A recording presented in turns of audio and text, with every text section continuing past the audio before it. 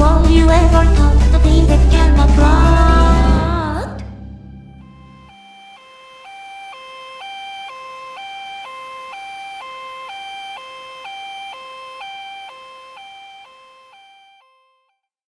We'll go back on you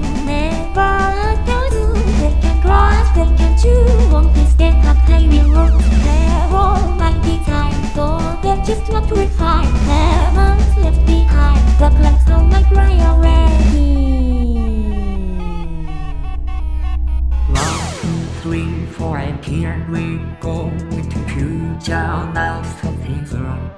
Uh, why can't you just enjoy the view of nature like how it is meant?